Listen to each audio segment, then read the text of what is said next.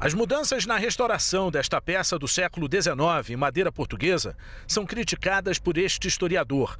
Milton Teixeira comparou fotos feitas nos últimos dez anos.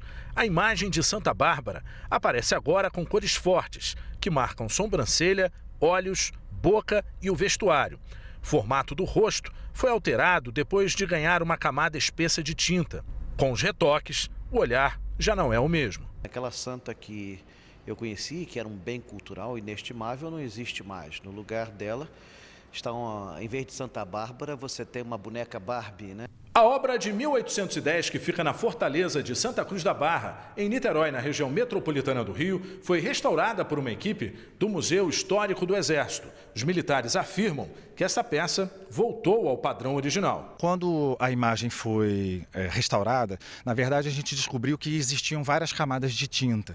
E a camada mais original, que é a que estava mais por baixo, foi a que foi mantida e que originou esse padrão. Então, na verdade, nós retornamos para o padrão original da imagem. Há pouco, uma história parecida aconteceu na Espanha.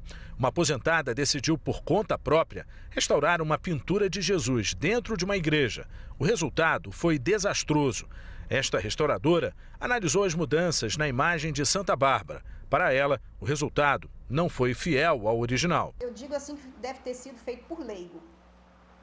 Infelizmente, eu não conheço a pessoa, mas deve ter sido feito por leigos. Ou até mesmo uma pessoa que faz uma pintura numa imagem de gesso, porque o estado que, que ficou a imagem dá a impressão de ser uma imagem de gesso. A tinta de original, ela já está fixa há muitos anos, então ela custa a sair com removedores, né? Você vai usar uma coisa com, com teor fraco, não para não atingir a pintura original, e você consegue retirar o trabalho que fizeram e manter o original.